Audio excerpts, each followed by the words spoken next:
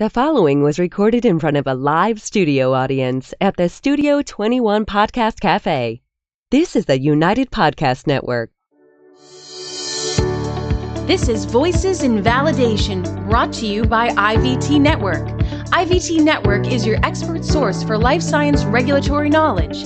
Voices in Validation brings you the best in validation and compliance topics.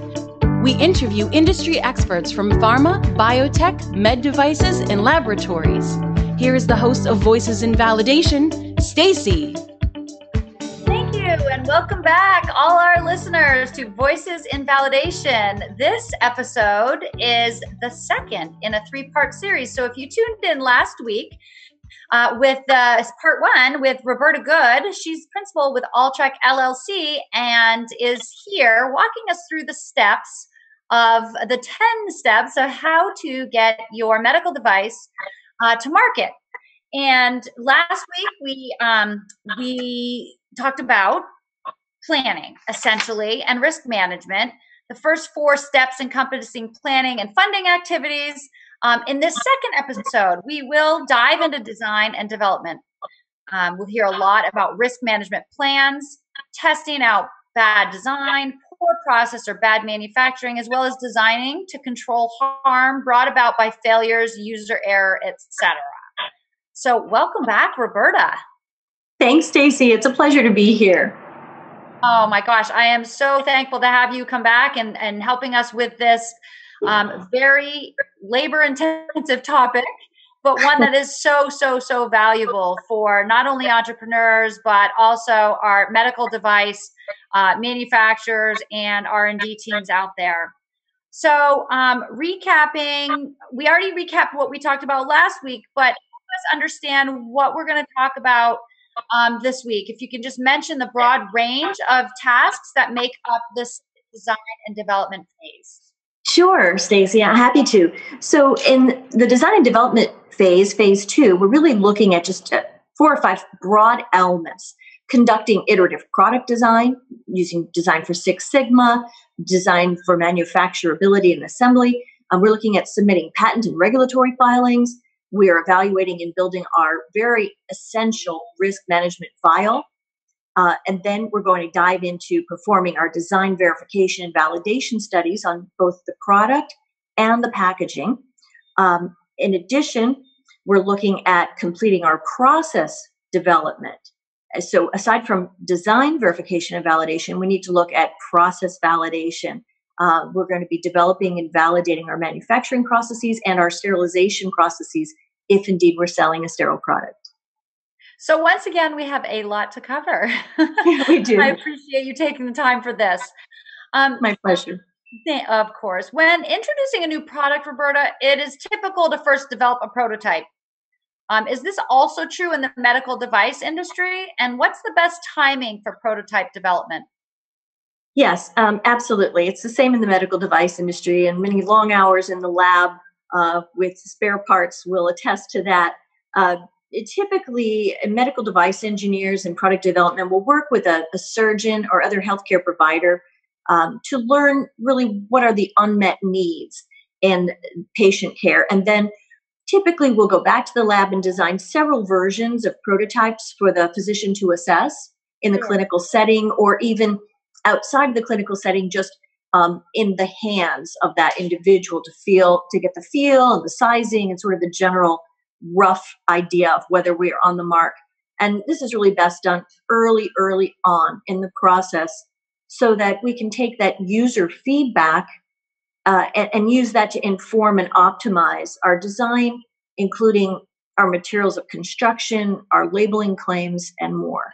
So, initial design evaluation includes prototype development, as we just spoke about, and human factors evaluation is also um, critical at this mm. point. What is human factors engineering in medical devices, and why is it often its own separate plan? Hmm. Great question, Stacey. Well, human factors engineering it it's it aims to be able to anticipate and manage both the planned um, interactions and potential misuse as a user of a medical device interacts with that device uh, and the unexpected um, interactions, and to adapt to those unexpected interactions in such a way as to ensure patient safety.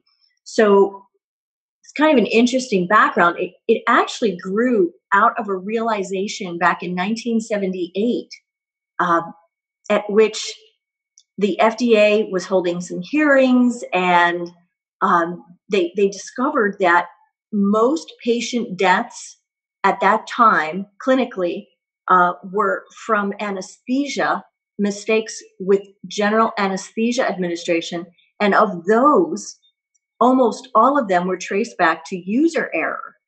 Oh. so isn't that interesting? That is yes wow. And and a little bit of trivia al gore al gore actually presided in these hearings. Isn't that fascinating? Oh my goodness. I know it's just a little trivia for your interested listeners. So around about the year 2000, the FDA's CDRH, Center for Devices and Radiological Health, which oversees medical devices, released a human factors guidance, uh, guidance document that requires use error or user error to be as a necessary consideration in our risk analysis process for product design. And this is a separate guidance, guidance document uh, that is available on fda.gov for anyone who wants to to to look at that okay. further. Um, so nowadays, uh, what we're what we're required to do is to look at human factors and usability. That's just another term that means the same thing. Um, in pre-market submissions for new devices to FDA, it has to be there. Um, okay. Now, human factors engineering has to be addressed, um, not just not just in the pre-market submissions, but I mentioned the FDA guidance. Well, now there are international and national standards that cover it. I'll just, I know you'll put them in the show notes, but quickly IEC 62366 and AAMI HE75, for example, and there are others.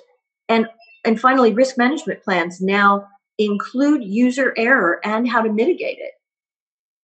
I, I mean, it seems so obvious, but I think mm-hmm. it is one of those things that we oftentimes forget to account for, right? You, we we assume that everyone is going to use the product the way it is intended to, but you know, life gets in the way, and there are there are user errors in every industry. I mean, it's not just unique to medical devices, but user error always often comes into play um, mm-hmm. when there's some sort of mishap. Um, so it makes sense that they would require um, these types of um, provisions. So, um, another question for you, and we touched a little bit on this in episode one, but we know that design controls um, and planning for those is really where the quality in our product comes from. Um, from the very beginning, we need to start planning and developing um, design controls and regulate certain types of records and documents to be generated during product development. And you touched upon this with the device history record. Um, that is a requirement in some regulatory uh, agencies. So, um, but I know there are other types of documentation and other things that not only FDA but other regulatory branches are looking for. So, can you explain what device history record is and how it differs from design history file and device master records. And maybe comment on each of those a little bit. Yes, yes. Oh, this is DBA, death by acronym. So we've got we've got the DHF, the DMR, and the DHR. And forever folks are confused, but I can try to simplify it a little. That would be much appreciated. Thank okay, you. sure thing. So let me start with the, the design history file, since that is the one that we referred to earlier. And I think it's maybe the most clear since we're in this development mindset right now. The design history file, it, it contains the records necessary to show that the way the product was conceived and developed was in fact in accordance with the approved design plan and the requirements of FDA's design controls. So that's 21 CFR 820, subpart C, design controls. Right. Uh, again, this is all part of the quality system regulation.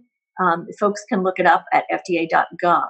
So the design history file in plain everyday language, it shows, it captures the evolution of the design. So, you know, the first iteration of the design might be on the back of a cocktail napkin at the old bar and grill, right? Right. But the second iteration maybe is typed and printed on heavy paper, and maybe the third iteration has a few uh, red pen markups that are initialed and dated um, by the author, and so on. And these will all be part of the design history file, however informal they may be in some cases. That's not what's important. What's important is capturing that evolution. And it also, by the way, once we get to our final design, our design is frozen, as we like to say, then it will also include verification and validation reports, specifications, engineering drawings, and so on. So it's really So- a trail of a, trail from beginning to end. Okay. Exactly of of really what that R and D slash product development engineer has done in the process of developing the product. Now, the device master record, I'll mention that one next. The device master record is created once we know for sure which product we're going to be designing. So it's not the first one, it's the second one. Okay. Okay. What a device master record is essentially, this is the easiest way I've found to, to remember it. It's a recipe for how to make more, Okay. how to make more of this device. So it, it it doesn't show any evolution. It's it starts from it starts from the frozen device, the final device when it goes into manufacturing. It's the recipe that gives manufacturing instructions, if you will. It's uh, how to make that particular type of medical device in that family of devices, not one specific lot number or batch number, but that family of products. So it's going to contain only the final specifications, not the entire iter- iterative history of them. Understood. Excuse me. It's going to have manufacturing instructions, inspection requirements for quality, the bill of materials now that the materials of construction are finalized, and so on. So that's the recipe, the device master record, DMR. okay. Great. Okay, and the last one, and this one comes last uh, in the series, really, uh, chronologically, is the device history record. So confusing, isn't it? The way these terms are used. The device history record is a compilation of records or documents that contain the production history of a particular batch number or lot number of finished devices. So you'll have a new device history record or batch record created every time you build a, a distinct lot number or batch number of devices. So this is different. It's not just the recipe or instructions, it's what happened when you applied the recipe to this particular lot number. It's going to include signatures or initials and dates of the operators doing certain inspections. It's going to have a label taken off the final printed roll of labels affixed to the device history record so that you have a record of the labeling and so on. I hope that makes sense. No, it makes perfect sense, and so that um, that file that's unique to each lot number, if you will, I man, I imagine that provides some traceability, right? So if if there's something that goes wrong with one batch of devices and it you know it, it poses a problem that wasn't there previously, they can go back and look at what was different or what happened um, differently than past. Correct? Absolutely. Well said, Stacey. Excellent. Thank you so much for that clarification of those acronyms. Sometimes we tend to stumble over those things. Yes, we all do. um, so, design for manufacturing and assembly, which is one type of manufa- uh, one type of production, and design for Six Sigma. There are two different approaches often used to reduce time, money, and waste. Can you discuss the level at which these need to be incorporated into your design planning at you know either at this phase or initially? Sure. Um, let me just begin, since some of these terms may be new to your listeners, with just a brief um, definition. DFMA, Design for Manufacturing and Assembly, it's a construct that asks the design engineers to consider essentially how the product can be manufactured and assembled in an efficient manner to reduce errors and effort in the manufacturing and assembly of that product. Um, whereas design for Six Sigma refers to a suite of tools, in fact, um, that help design engineers structure their approach to product design in an efficient and thorough way. So, maybe by example, I can express this more clearly. Um, some of this, the design for Six Sigma tools include design of experiments, uh, such as the Taguchi fractional factorial method, Poka-yoke, DMAIC, D-M-A-I-C, uh, Kaizen, and there are many others. So design for Six Sigma with regard to the timing and the level at which they should be incorporated into the planning, as you asked me, I would say that design for Six Sigma tools can be used from the very beginning. Um, we use them to evaluate characteristics, for example, of different materials, which is one of the first things we look at in a design, the materials of, of construction, right? Right, right. So it's uh, Taguchi fractional factorial, um, one of the design of experiment techniques, is an excellent way to compare materials of construction, iterations in product design, for example, um, and also it can be used later in production development, process development too. Um, so I would say you would implement that first. Now, design for manufacturing, manufacturability and assembly, that should definitely be implemented prior to design freeze when we settle on our final product, um, you know, materials of construction and design. Right. Such that the final product can be easily and consistently assembled. Consistently is key here. It, um, right. But we we probably won't want to dive into DFMA until we know for sure what the final design looks like. That makes total sense. Definitely. Okay. So that's going to come definitely towards the end of your product development right closer to the end I, I would say after design freeze but i must just i put one caveat in there for my fellow my manufacturing engineering friends who i know i can hear them sighing and yelling that's over the airwaves right now. They're saying, no, start it earlier because the folks in manufacturing have to suffer uh, from poor design or design that doesn't consider manufacturability. And I'm sure they would say start it as soon as possible. And, and I would agree, as long as we're not looking at every possible design iteration at that point, because that would be wasteful. Right, of course. And can can are there I, I, imagine there are teams of people so that there can be someone sort of in the background saying hey don't forget to think about as that you make it true. true right so you don't have all of this kind of um, thrown at you at the at the very end absolutely know? Um, and and as we are talking about this whole design and development phase, there's just so many factors to consider um, that must be well thought out and incorporated into the design. Can you highlight some typical challenges that you've seen when hmm. planning for packaging, labeling, product delivery, all the things that need to be considered now, even though we're not quite ready to launch the product, we still need to start thinking about all of these things. Oh my gosh. There are so there are so many I can think of where to begin. Um, Yes. So just a couple uh, of, of high level comments here. Let's start with labeling. Labeling is not just a technical concern, it is also one of the very most important regulatory concerns. Um, in fact, you know, if a product is mislabeled, FDA considers it to be misbranded. And misbranding can be a, a reason for recall and, of course, for other enforcement actions. It's very, very serious. Of so, labeling, right?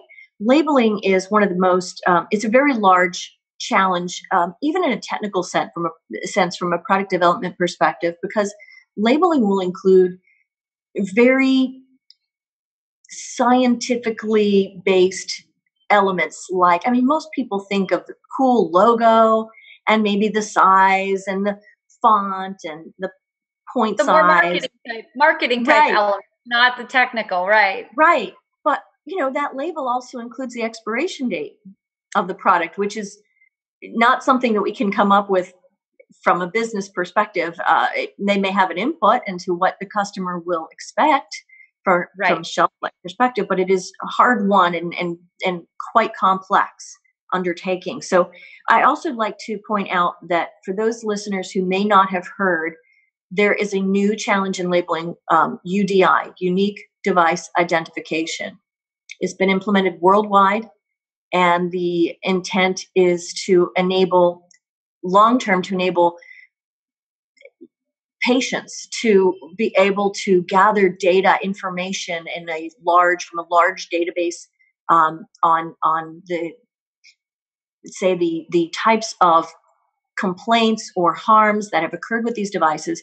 And short term or immediate term is to allow for better traceability both in hospitals and in manufacturing facilities of our devices so UDI Okay, so unique yeah. device. So they know exactly where their particular device came from as a, you know, mm-hmm. in the lot or in the batch, right? Exactly Correct. which one. Yes. Hmm. That's right. Um, as we move quickly on to packaging, um, you know, packaging. So there is one of the smartest product development engineers I ever met um, out of Tufts University said that packaging anytime there's a problem with a with a product a medical device it's she says it always comes back to packaging. One of the least planned for uh, most minimized elements of design. You know the design engineers who are focused on the product often don't even consider packaging until late phases and then it's an afterthought. But in fact particularly if we have a sterile barrier requirement for our packaging packaging oh, right. is right packaging is responsible for protecting the product from our factory to the point at which it's used anywhere in the world where it's intended to be used and then at the end of its shelf life worst case it may be pulled off a shelf after 3 years or 5 years or whatever the labeled shelf life will will allow and must still right. be robust um, so packaging cannot be undervalued um, it's a huge a huge area. And in fact, many of our um, universities in the United States, at least, are actually providing graduate degrees in packaging design now. Wow. So, I mean, that's something that's very um, critical, I guess, to this whole design development process is really thinking through the packaging. I don't want to say as much as, but in in line with the development of the product, the actual product. Or even as much as in some cases when, when it's a sterile barrier, at least it's huge. And and if you think sure. about the shipping and you know just uh, logistics involved and do we have to maintain a certain temperature right uh, or certain humidity yes mean right. it's just uh, it's it's it's a big issue and we can link in those show notes i know that you're planning to do so to some of the standards that will help your listeners, such as the ISTA 2A or the ASTM 4169D, to help uh, engineers Absolutely. plan for shipping so robots. Helpful. Yeah, thank you, Roberta. That's would be so sure. helpful. My pleasure. So, to move a little bit off of the um, packaging, labeling, product delivery, I mean, obviously that is um, critical to think about in the whole design and development. Um, but we're also, I want to move a little bit into the validation and mm-hmm. verification mm-hmm. phase. Sure. Um, and there is a difference between validation and verification, um, lovingly referred to as V and V, right? Yeah. When right. is the best time to consider V and V in your product development cycle? Okay, so may I begin again with just a brief definition of the differences? Because again they're often these terms are often conflated and i think we need clarity to start.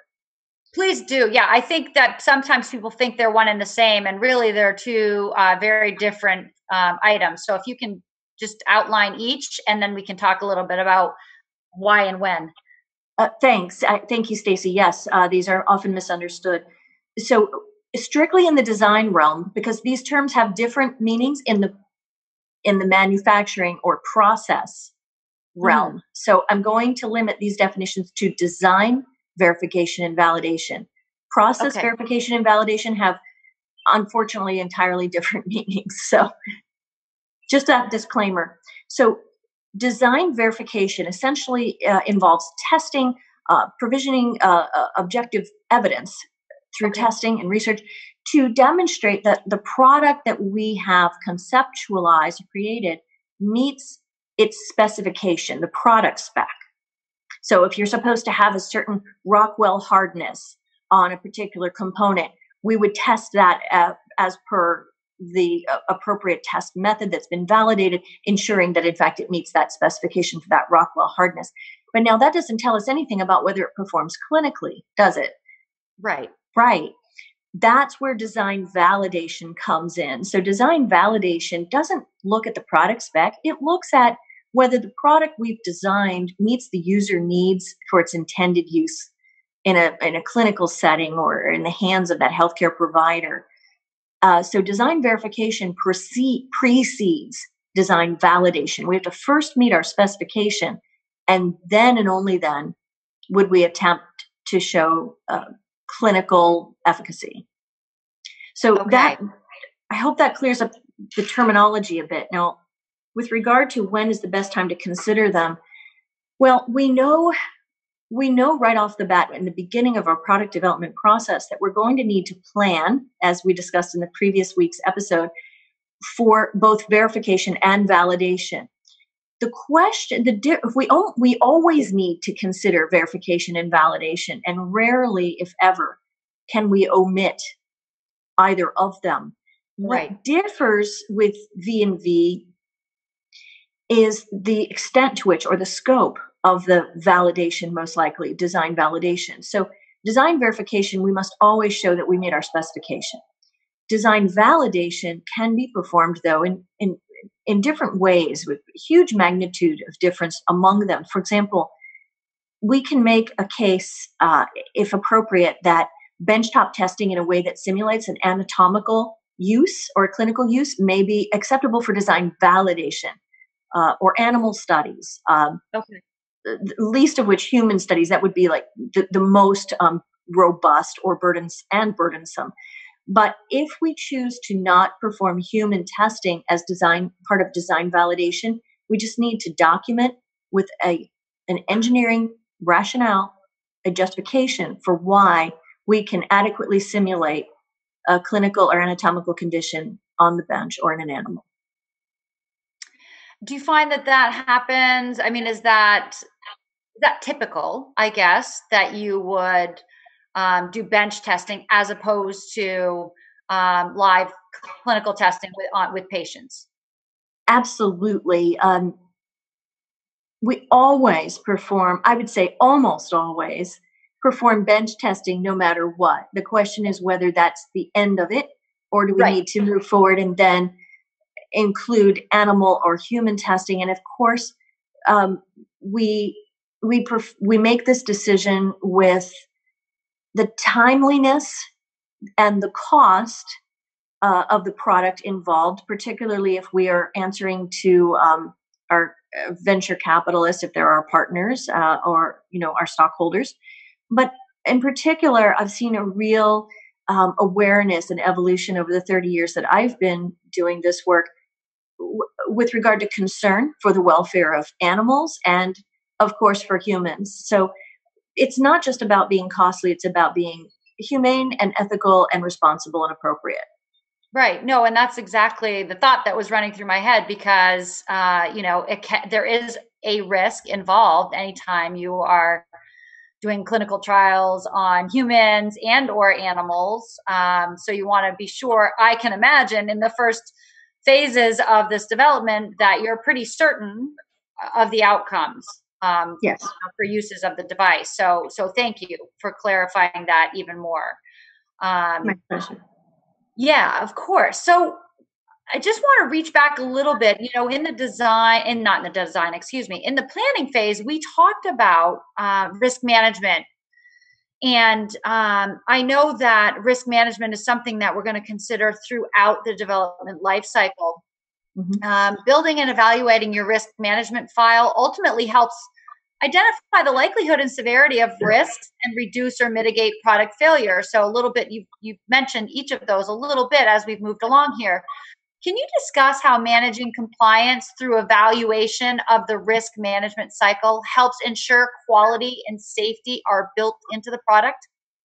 Oh, absolutely. And and it really it really does. You know, as a practitioner of risk management, in design engineering, I can say firsthand, um, there are, through this systematic process of risk management, there are many instances of potential harm that have been thwarted because we followed a systematic process and didn't just rely on our intuition or our memories. So, really, the risk management process um, at its core provides a systematic means of applying experience, insight, judgment, and objective evidence um, to identify and then to mitigate the, the risks associated with the use of medical devices. And to break it into its simplest terms, it requires us to take a look at two things. First, the probability of the occurrence of harm because it won't always occur. So the, the likelihood, the probability of the occurrence. And then assuming it does occur, what are the consequences of that harm? And not just to patients like we used to think, but we're really evaluating the consequences of harm to uh, stakeholders across the entire product life cycle. So we're talking here about patients, physicians, data, property, other medical equipment that may be attached or used concomitantly with our device, um, and, and of course, also the environment. Of course.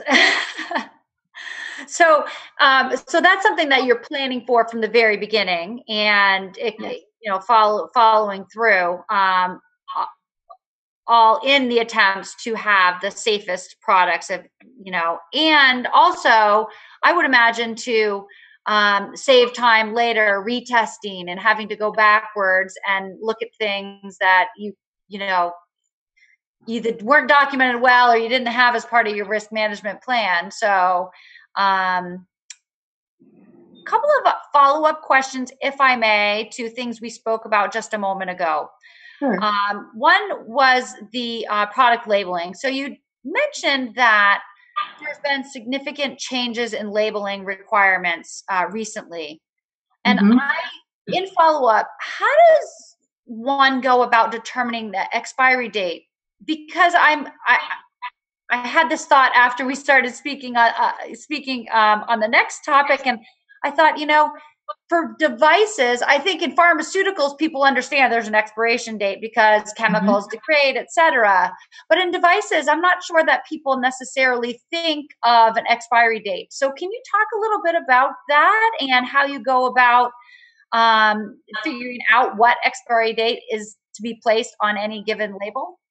Uh, sure, and I, I agree. You know, I never thought of it quite the way that way until you said so, Stacey. But of course, it makes much more sense when we're talking pharmaceuticals than it does when we're thinking about polymers and you know tangible devices that we hold in our hands. How how did those have chemistry involved? Right. Yes, but indeed they do. So that's a very it's a very good point you make.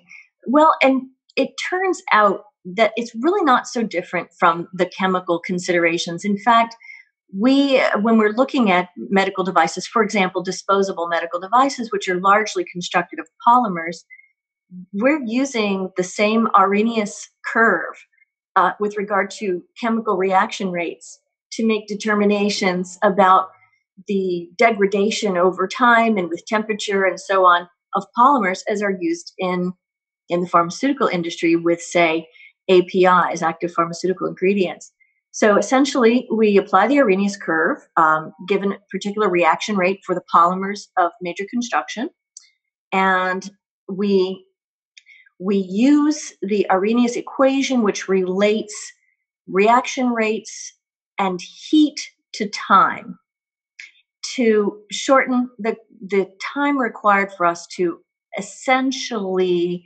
predict to predict fairly well, fairly accurately, robustly how this polymer, for example, may degrade with time. So if we are looking for, say, a three year shelf life, we generally list it in months. So a 36 month shelf life.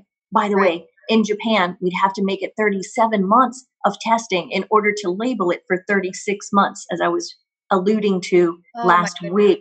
So wow. you can see once you've invested 36 months in, in doing this study, for want of 30 days, you'd have to repeat the entire study to get the Japanese uh, documentation together. So, just a footnote. Yeah, no, very, very good to note that. Thank you, Roberta. Yeah, sure, sure. Um, so, yeah, that's a mistake people make generally one time and one time only.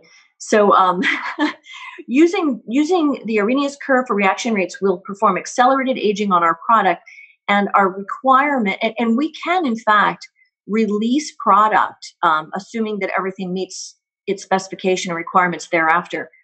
We can release product with a shelf life label based just on the accelerated aging using Arrhenius curve. However, there's one requirement. We must simultaneously conduct real time aging. So we can reduce that 36 month uh, timeline down to you know very short timeline depending on the heat tolerance of our polymers you know maybe to a handful of weeks maybe three months it just depends on the heat tolerance that equation defines for us but we must simultaneously be conducting real time ambient temperature condition humidity condition uh, shelf life testing with the product for three years and then we must test it as well and if it for any reason fails to meet the specification after three uh, years of real time aging, we mu- we are required wow. to so, take an action. Roberta, beginning in 2006 and continuing today, there's an emphasis on test method validation during mm-hmm. product development. Can you talk yeah. about how test method validation fits into this phase and why it's so important? Yes. Oh boy, you hit the nail on the head, Stacey. It, it has been a real paradigm shift since about 2006.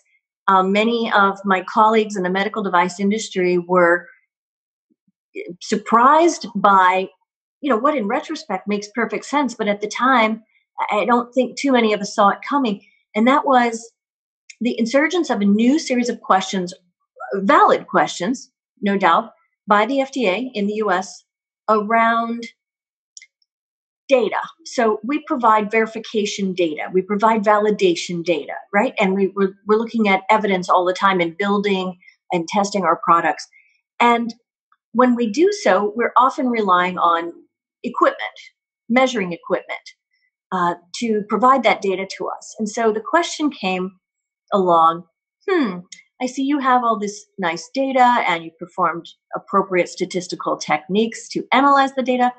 But let me ask you this what is the resolution capability of this measuring equipment? And so let's say that you're trying to discern the difference between two products, um, one that would be considered compliant and one that would be considered defective.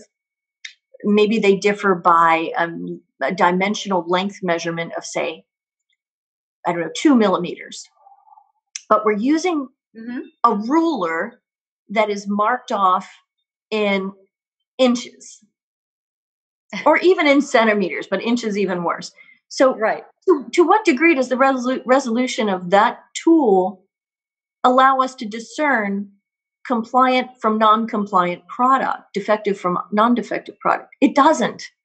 So, right. this is just a very, very simple example of what is pervasive. We use much much more complicated metrics and equipment measurements in many cases and software that is associated and so we need to look at really the accuracy of of that piece of equipment the precision precision having to do with essentially standard deviation accuracy having to do with how close it is to the true value of the measurement of the part um, you know is it an appropriate product or technique rather for that product.